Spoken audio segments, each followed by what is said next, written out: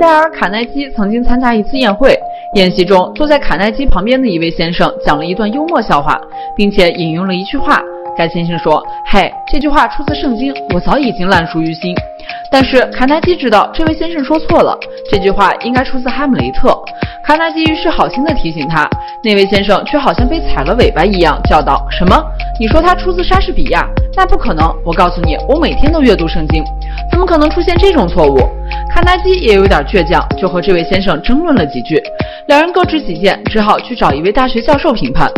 这位大学教授研究莎士比亚的著作已经几十年了，没想到这位教授居然说道：“这位先生说的没错，圣经里有这句话。”卡耐基感到很不可思议，他日后私下找到那位教授，向教授表示质疑。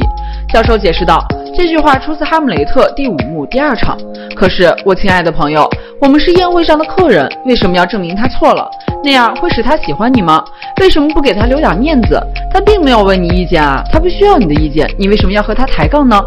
你应该永远避免当面指出别人的错误。”卡耐基听后陷入了深思，这件事儿也作为了他日后的行为准则之一。当众提出忠告是揭短，私下提出忠告是规劝。很多人认为指出别人的错误，帮助对方进步，就是一种高情商的做法。但真正的高情商做法是不当面指出别人的错误。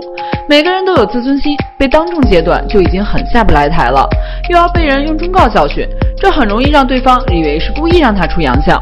在任何场合都应该学会用高情商的方法与他人沟通，这样才能建立良好的人际关系，扩大你的影响力。你认同吗？认同的关注点赞。